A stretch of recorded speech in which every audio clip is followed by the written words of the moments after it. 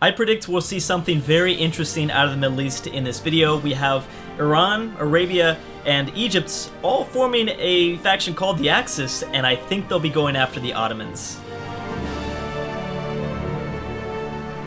I mean, we're going to find out right here. It's 1938. We're pretty much progressing about a year uh, every single video, and uh, things only continue to get crazier and crazier. And I'm wondering if maybe the Sultan, Sultan Nate of Oman. Maybe they'll join the Axis as well.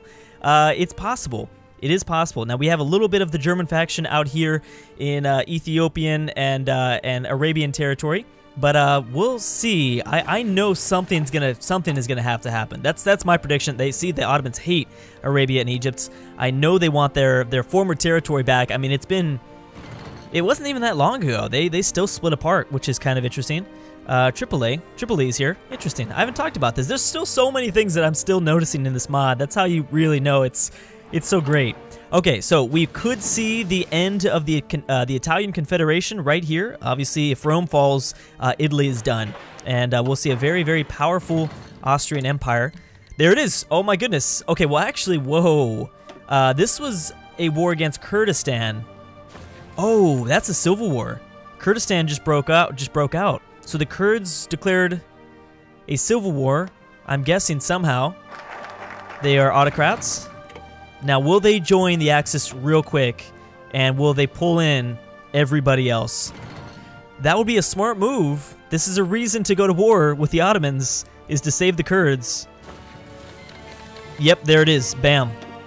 Now, wait a second. It, it might not be because they joined the Axis per se. They might join it now, but Egypt just declared the war I don't think the Ottomans are technically at war with Iran. Oh, yes, they are. Yep, yep, Kurdistan joined.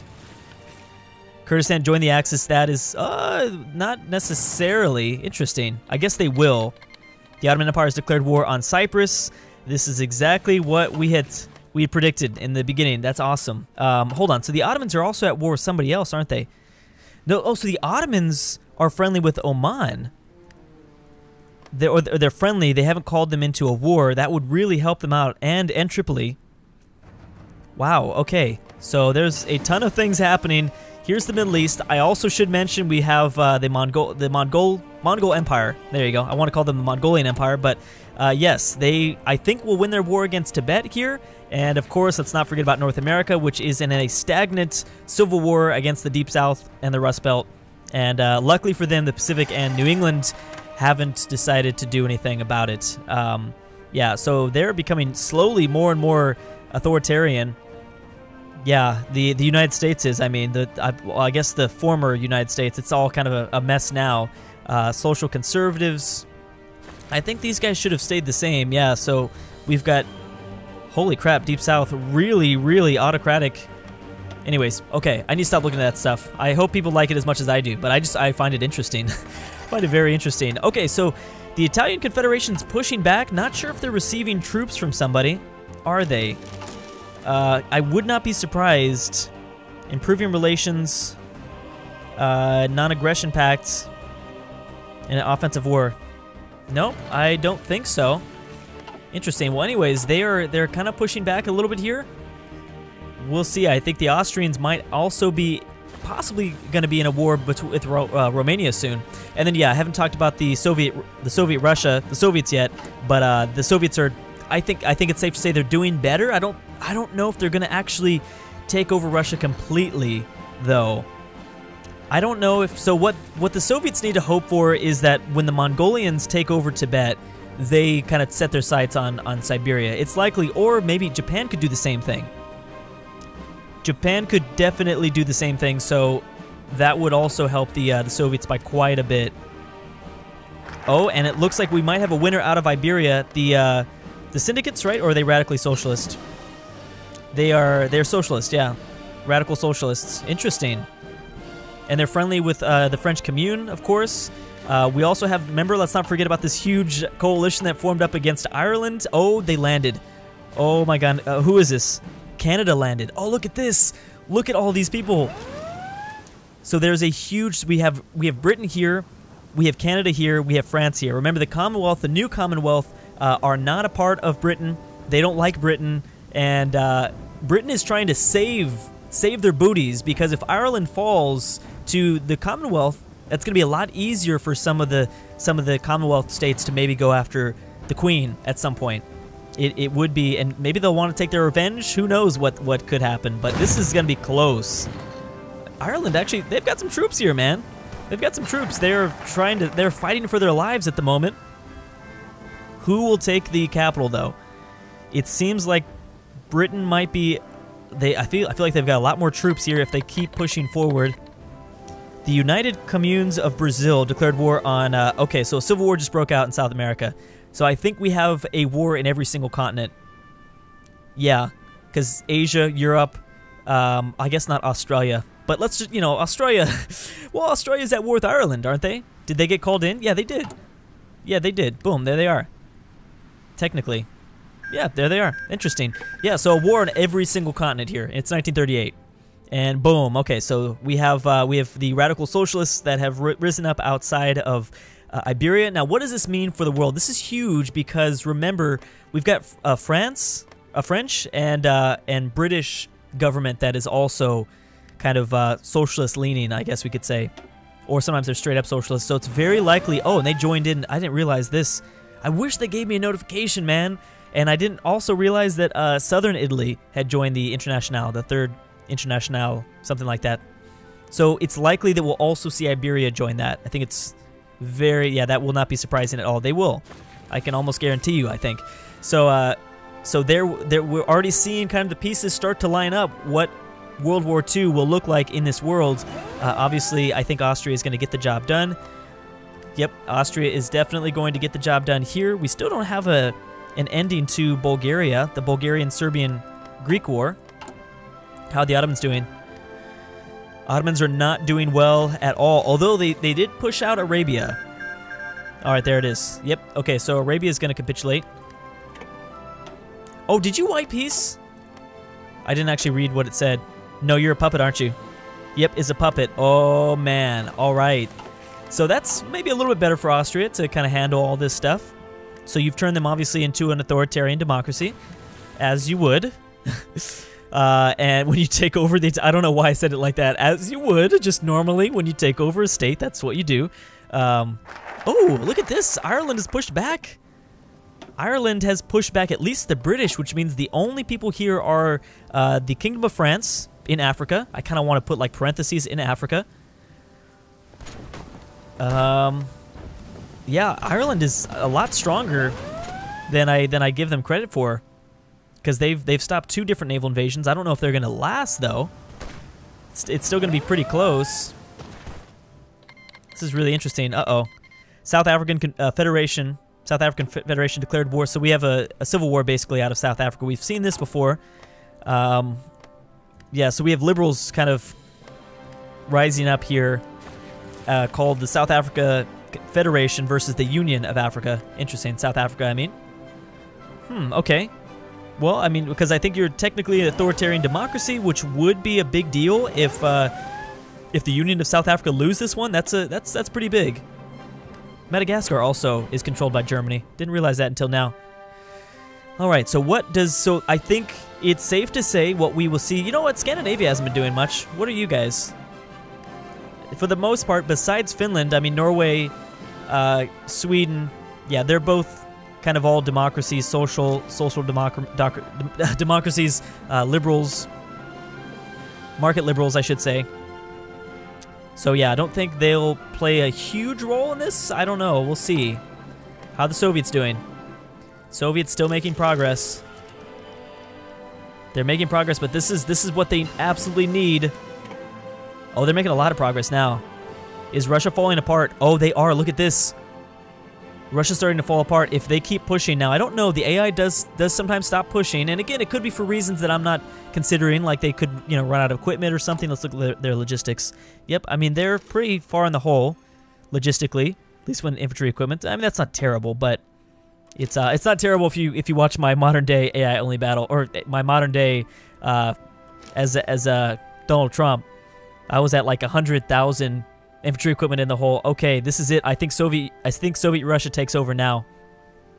And here's the thing, uh, we are seeing you know the Soviets I don't know. You know, here's the thing. I don't see very often um, AIs leave their faction or or dismember their faction. But uh, if they do, I wouldn't be surprised if the Soviets form uh, join the uh, the Third International.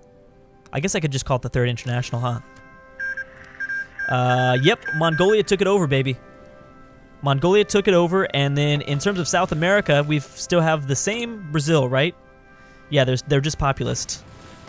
Why isn't La Plata done anything? La Plata will do things. I'm telling you, La Plata will do things. All right, look at that Mongolian Empire, man. The uh, the yep, Genghis Khan is coming back, baby. The Gang Genghis Khan is coming back. The Entente will also play a really interesting war uh, in World War II. Yeah, they'll play a very interesting role, I should say. Who is this? The oh China First faction. That's interesting. Nothing really is formed out of that. All right, so now what do they do? Well, there we already have an answer to that question. They did not wait long. I kind of want to sit here for a few seconds. Is a fact is a coalition going to finally form? Nope, I don't think so. Serbia's taken two states. Greece took two states, uh, three states. Serbia took seven states. I'm sorry, I can't read, man. Serbia, everybody knows that though. So bam, Bulgaria is gone, and uh, or are they? Wait a second. Oh, you became a you became a puppet, didn't you? Uh, you or you yeah. Oh, you just changed their their government. Okay, so it will be authoritarian democracies versus uh, versus a lot of like syndicates and and socialist countries. I think. Yep, that's that's that's what we're destined for. That is what we're destined for. 84 world tension. That's crazy. And I think it's going to be the Entente. I guess that's how I should refer to them. Not necessarily the new Commonwealth or something, but the Entente that, that will uh, take over Ireland. I don't know what the British are doing. Maybe they're focused on helping the Soviets right now. I mean, are the Soviets receiving troops? Uh, I thought it would. I thought it would tell me, but it doesn't always. Yeah, no, it doesn't. It's fighting a defensive war against yeah the Soviets and Russia, Russia and and uh, and the Serbians, I should say. We no longer get okay. That's that's fine. Whoops. Okay, so they are close. I think the Soviets will defeat Russia. I think that is uh, that is pretty pretty likely. Who's just populist right now? I wonder how Finland responds, though. How would Finland respond? I, I still want to see Ukraine try something, which Ukraine will be involved in some interesting things, sure enough, but not yet. All right, so let's check back on the Ottomans. So the Ottomans still haven't got rid of the Kurds just yet. They did take out Arabia, which was a pretty big deal. They're fighting a really big war against Iran. Here's here's the thing. Egypt has got to do more, man. Egypt has got to do way, way more.